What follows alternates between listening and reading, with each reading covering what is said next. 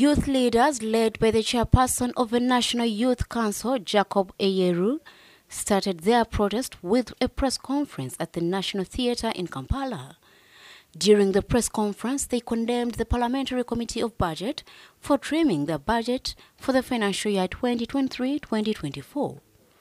They noted that although the Ministry of Finance had funded their budget fully in the revised budget, the Budget Committee reallocated the money to other activities. I am the chairperson of the National Youth Council. Yes, please. We have come to petition Parliament about the budget cut of the National Youth Council.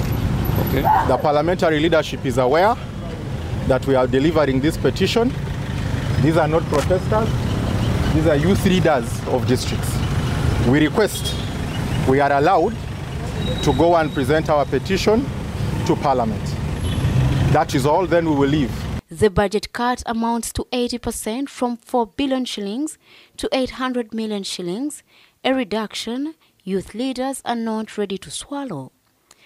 They have cried out to the Speaker of Parliament, Anita Among, to do the needful and overturn the decision. But I am not the most affected by this budget.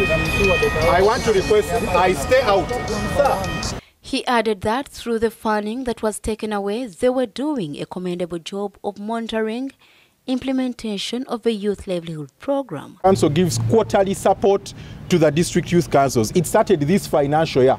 It has not been happening for the history of 30 years of the National Youth Council. That's the first activity to be uh, disturbed. But the National Youth Council is the one that advocated for reinstating the YLP program, where youth are now receiving over 38 billion. It had been closed by government for four years. We are the ones that brought it back this financial year, and Cabinet agreed with us. There was an altercation as police blocked them from accessing Parliament, not until they agreed to pick three representatives amongst them to deliver a petition to the August House. No, no, no. I only need one person. Out No, this, no, no, sir. You okay, at least call the parliamentary leadership. Those are now two. Okay, we are moving. We are moving. So, Afande, we have reached two. Huh?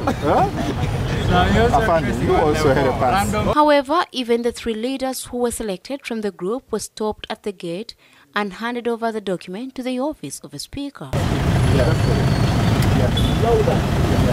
Eyeru appealed to the Speaker of Parliament to address the matter or else they will not relent from the cause. As the National Youth Council, the ones that look out for that people, that group that is majority, we cannot operate without anything.